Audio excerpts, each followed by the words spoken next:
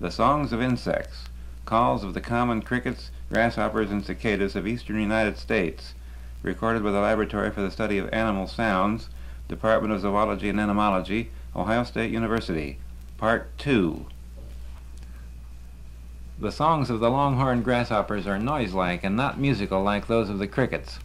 Their most intense frequencies are often at or beyond the upper limit of one's hearing range.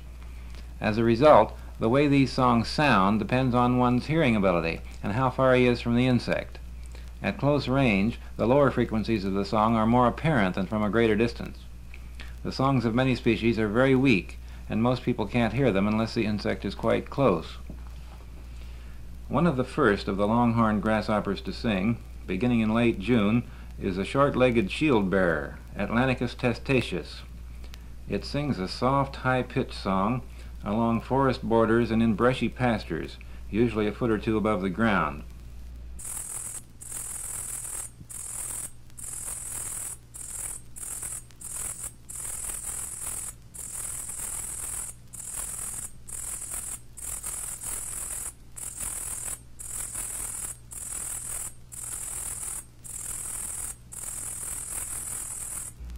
In early July, one of the first of the cone-headed grasshoppers begins to sing. This is a sword-bearing conehead, Neoconocephalus ensiger, usually heard in colonies in weedy fields or marshes. Like most of the coneheads, it sings only at night.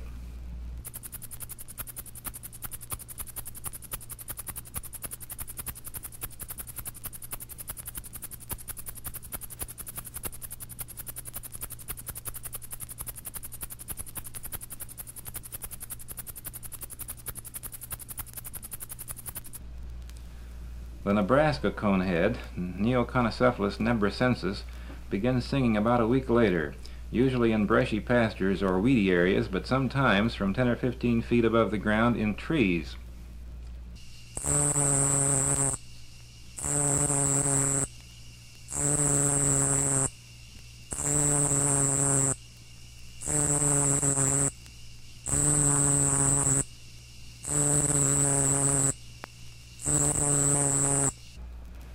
The slightly musical conehead, Neoconocephalus exiliscanorus, also sings short, coarse notes.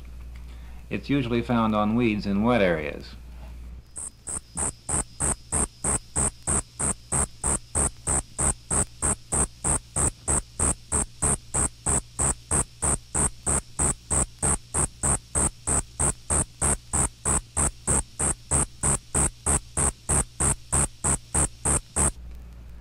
Most of the other coneheads produce loud, continuous buzzes.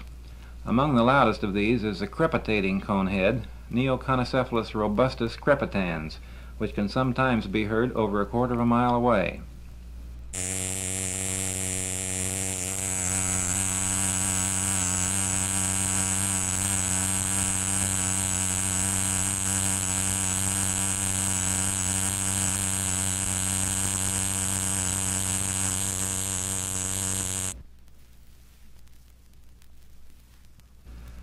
One of the most common of the false katydids is the larger angular wing katydid, Microcentrum rhombifolium, a night singer. It sings from high in trees and has two songs. One of these is a series of lisps.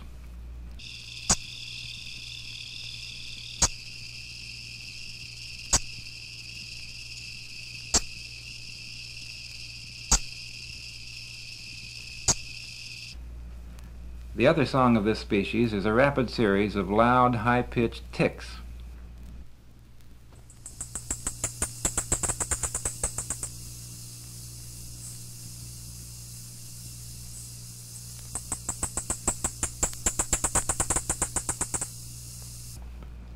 The smaller angular wing katydid, Microcentrum retinerve, also a night singer in treetops, seems to echo itself.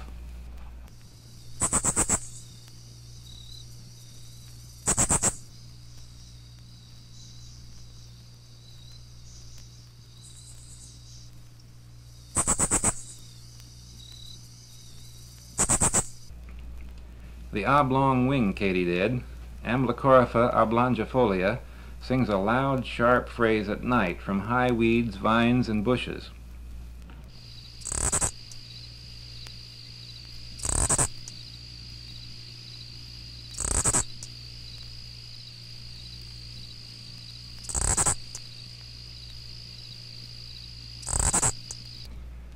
Many of the bush katydids produce single lispy notes in the daytime, but groups of lisps at night. Here's the night song of the Texas bush katydid, Scudderia texensis.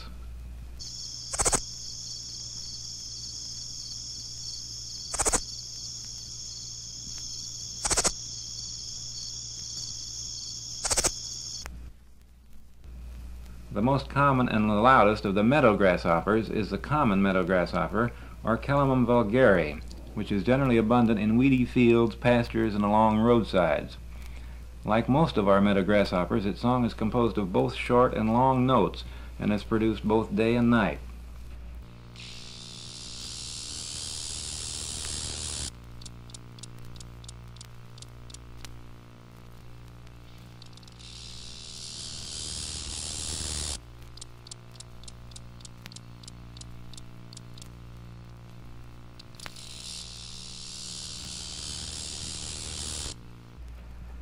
Another common meadow grasshopper is a black-legged meadow grasshopper, Orchelimum nigripes, which sings much like Orchelimum vulgare but more rapidly and with shorter buzzes.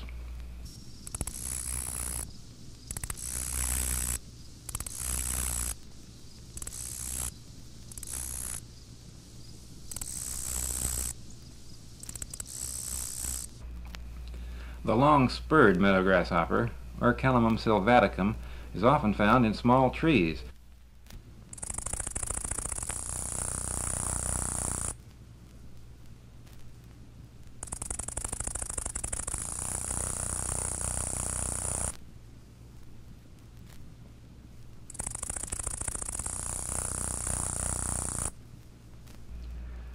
The small meadow grasshoppers sing very softly and can seldom be heard from more than a few feet away. One of the most common of these is the woodland meadow grasshopper, Conocephalus nemoralis, a persistent singer from mid-August until frost.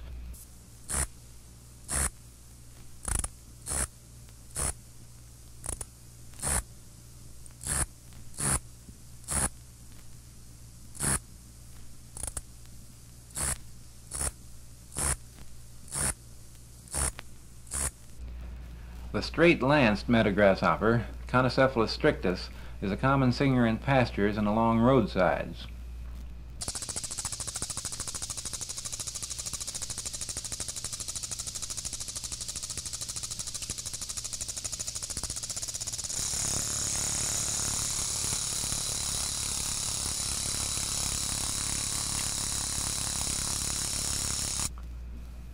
Another of the small meadow grasshoppers, is a short-winged meadow grasshopper, Conocephalus brevipennis, is found in similar places but has a quite different song.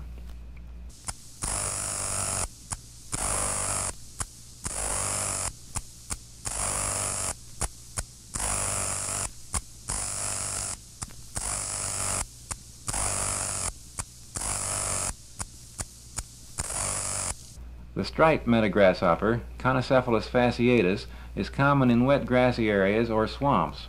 It usually produces about a dozen zips between its long notes.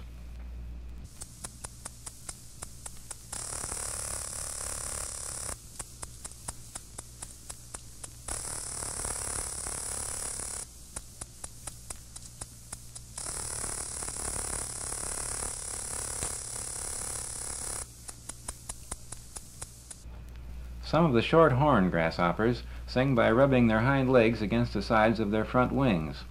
The sprinkled locust, Chloealtis conspersa, is one of the most noticeable of these.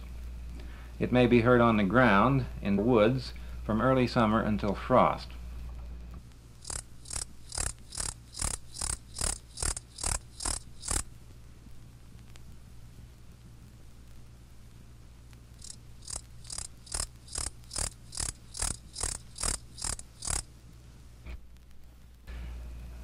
Loudest daytime singers are the cicadas, which stop singing at dusk about the time the katydids and the tree crickets begin. The cicadas, sometimes wrongly called locusts, produce their songs by the vibration of drum-like membranes at the base of the abdomen. Most cicadas sing from trees and begin singing about midsummer. The swamp ground cicada, Tibicen chloromera, is usually heard singing on tall weeds, especially ironweed, in low, wet areas. Its song is a loud, pulsating buzz, lasting 10 or 15 seconds.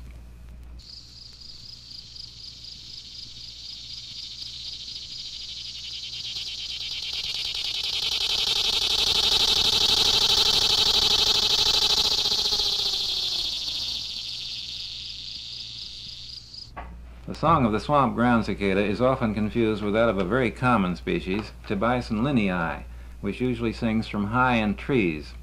The pulsations in the song of linnei are slower, and the song lasts 30 or 40 seconds. Here's the last part of a song of linnei.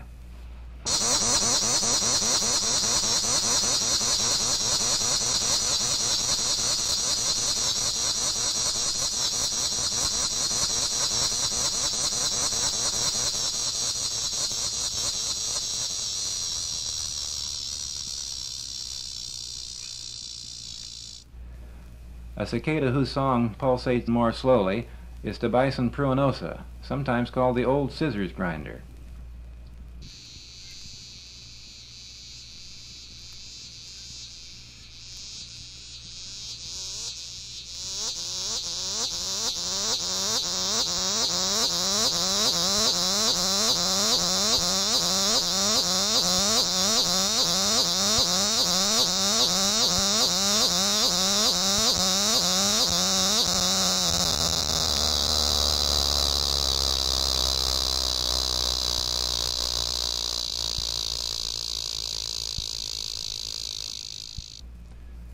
The song of Tibicen robinsoniana pulsates even more slowly.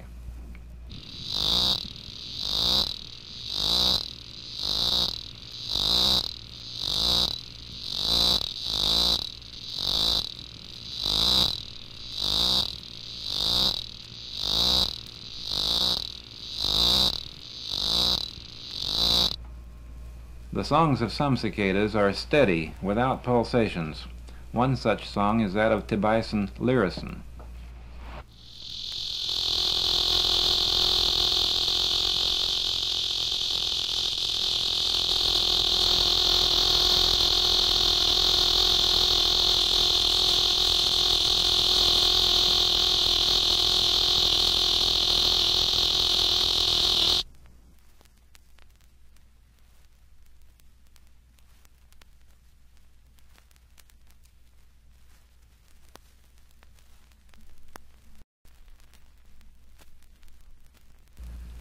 Songs of insects, calls of the common crickets, grasshoppers, and cicadas of eastern United States, recorded by the Laboratory for the Study of Animal Sounds, Department of Zoology and Entomology, Ohio State University. Part 1. During certain seasons of the year, mankind almost everywhere is subjected to a serenade of insect songs, a serenade that began millions of years before man existed. In some wooded areas in eastern United States, it sounds like this.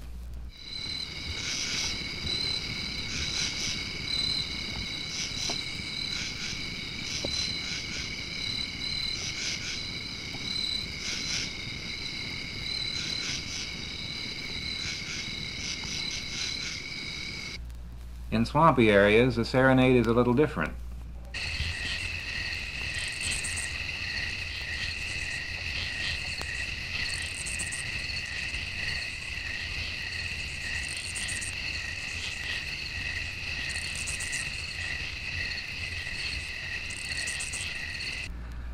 Insect song is like a chant. It consists of a note or phrase repeated over and over again, without melody and with little or no change in pitch.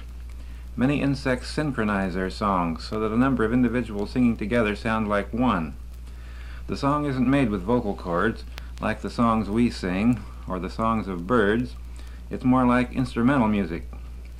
The crickets and longhorn grasshoppers produce their songs by rubbing a sharp edge of one front wing along a file-like ridge on the underside of the other front wing, much as you might do by running your fingernail along the teeth of a comb. In most insects, the males do all the singing. The females are silent. All insects sing more slowly as the temperature drops. Here are two recordings of a well-known insect singer, the northern true katydid, Pterophylla camellifolia, one of the longhorned grasshoppers. The first recording was made at a temperature of 75 degrees and the second at 60 degrees. Notice a difference in tempo.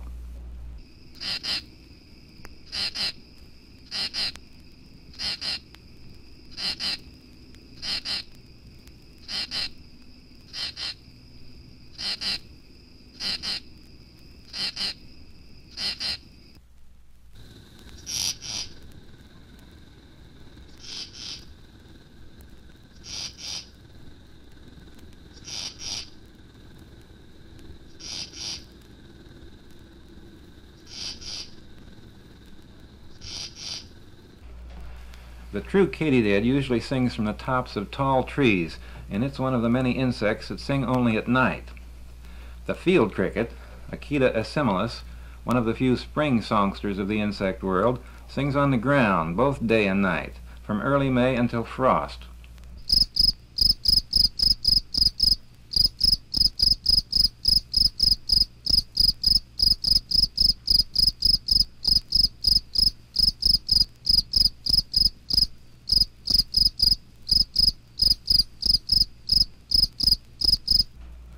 Like most of the crickets, the field cricket has another, much different song, which it sings only in the presence of a female field cricket.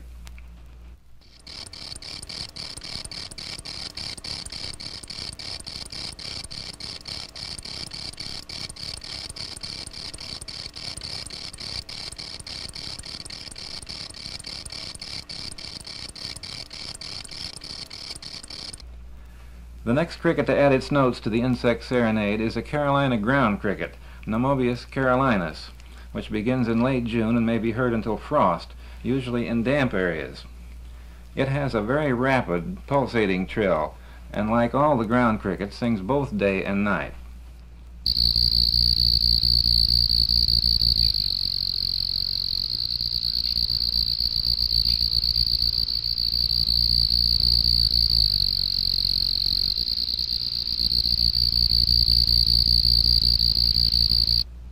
Striped ground cricket, Nemobius fasciatus fasciatus, begins singing in early July in lawns, pastures, and along roadsides. Its trill is softer and slower and is broken at short intervals.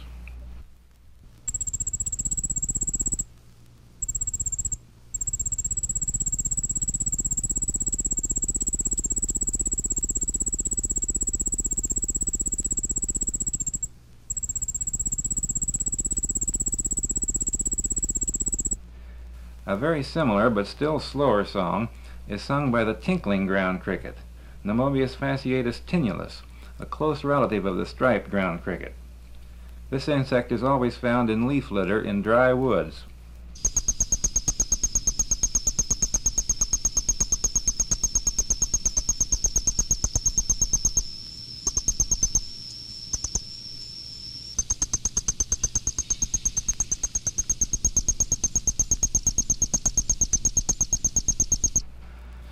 Nemobius fasciatus socius is another close relative of the striped ground cricket, but its song is completely different. These two crickets, fasciatus and socius, may be found together, but socius occurs more often in wet grassy areas, such as creek bottoms and swamps.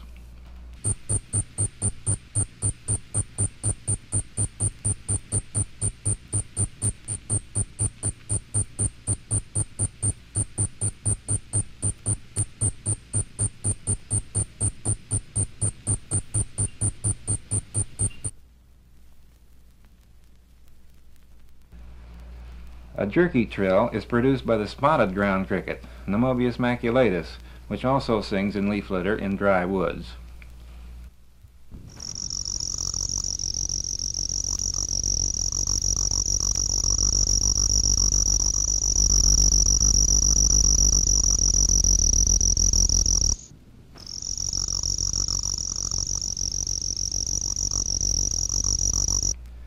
A ground cricket with a very unique chirp is the confused ground cricket, Nemobius confusus, another woodland species.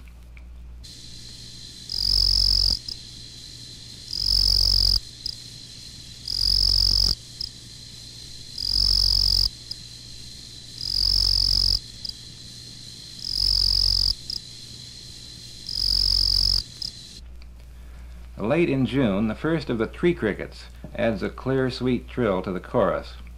This is Oecanthus nigricornis, called the black-horned tree cricket, although it's always found on coarse weeds.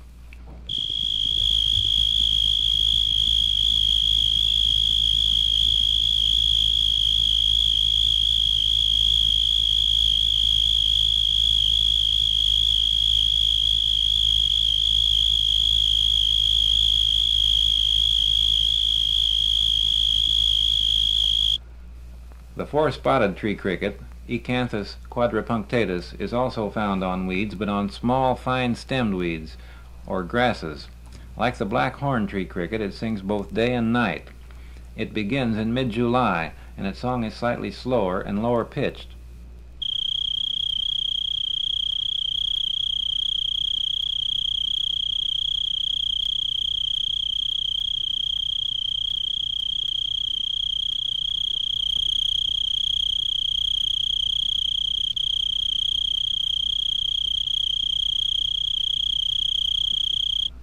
Another tree cricket found on weeds is a broad-winged tree cricket, Oecanthus latipennis, which sings mostly at night and does not begin until late in August. Its song is the loudest of all the tree crickets.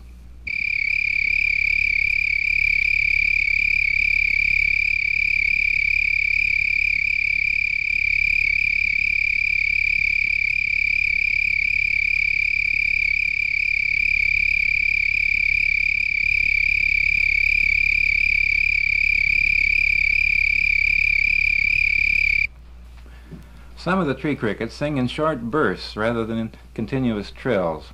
One such is a narrow-winged tree cricket, Oecanthus angustipennis. It usually sings from high in trees.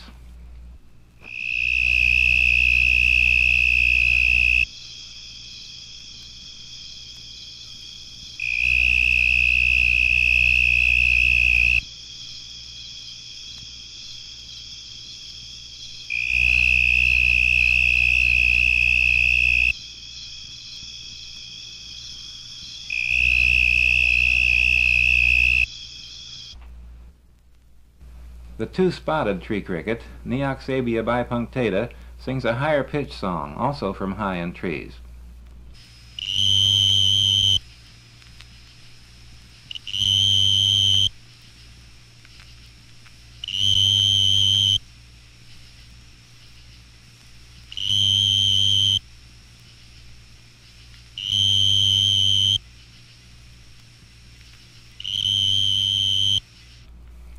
Only one tree cricket chirps. This is a snowy tree cricket, Oecanthus niveus. It's sometimes called a temperature cricket. If you add 40 to the number of its chirps in 15 seconds, you get a close approximation of the temperature in degrees Fahrenheit. The snowy tree cricket is a bush inhabitant. Frequently several individuals will be heard singing at once, their songs perfectly synchronized.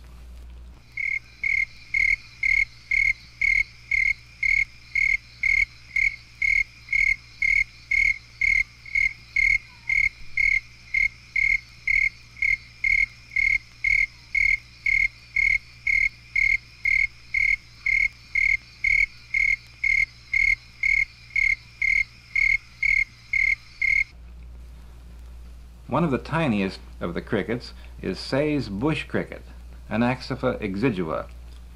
It sings a very high-pitched trill.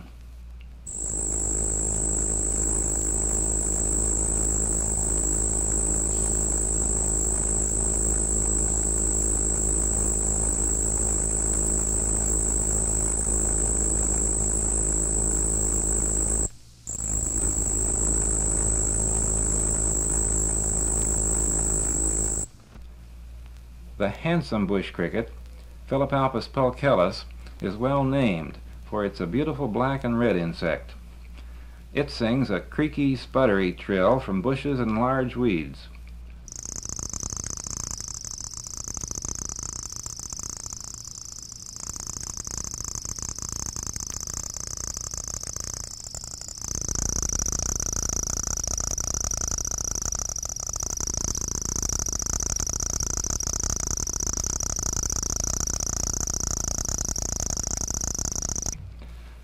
The jumping bush cricket, Orocharis saltator, is a late singer, beginning in mid-August.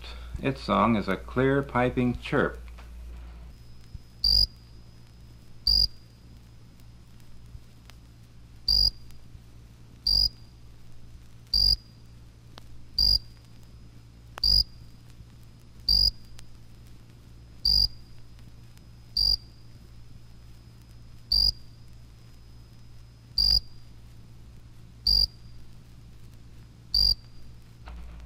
The bass of the singing insects is a mole cricket, Gryllotalpa hexadactyla, which sings its low-pitched song in the entrance of its burrows in swampy areas or along marshy streams.